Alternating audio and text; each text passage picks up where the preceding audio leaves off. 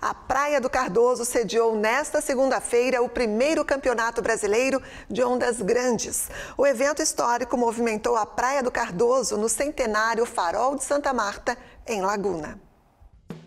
Um evento histórico em Laguna, com ótimas ondas e com os principais nomes do surf nacional de grandes ondas, que foi realizado o primeiro campeonato desta modalidade, promovido pela Confederação Brasileira de Surf. O campeonato, realizado aqui em Laguna, na Praia do Cardoso, definiu os primeiros campeões brasileiros de ondas grandes do país. Além de ser um marco histórico para o surf nacional, o torneio garantiu as vagas para o primeiro evento mundial neste formato, com ondas acima de 3 metros.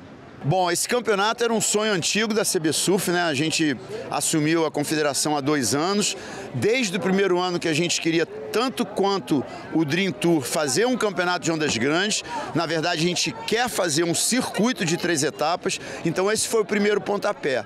É histórico para a gente que é o primeiro campeonato de ondas grandes homologado pela confederação. Então, agora o, o campeão pode chamar o primeiro campeão brasileiro e a primeira campeã brasileiro de campeã brasileira de ondas grandes. Com 30 atletas, 24 homens e 6 mulheres, a competição foi dividida em baterias de 50 minutos, com 6 surfistas para cada etapa. No masculino, tiveram três fases: a classificatória, semifinal e final.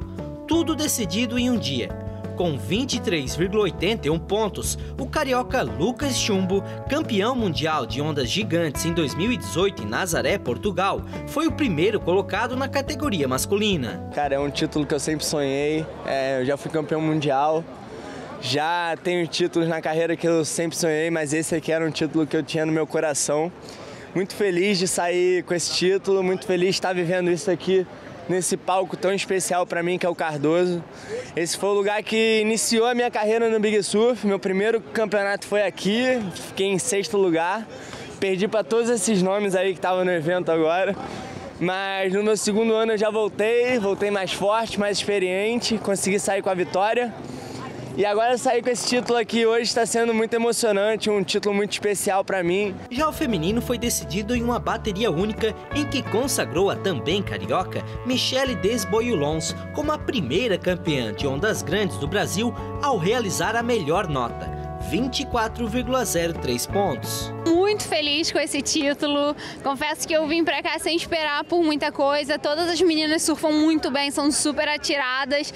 Então foi uma bateria de peso ali. E, e eu, na verdade, entrei muito leve assim nessa bateria, sem estar com esperanças. E fiquei concentrada, escolhi as ondas certas. Quando eu vi que a minha primeira onda já foi bem pontuada, já me deu uma confiança a mais. Eu falei, bom, então é, é já sei o que eu tenho que fazer escolher as ondas certas mesmo.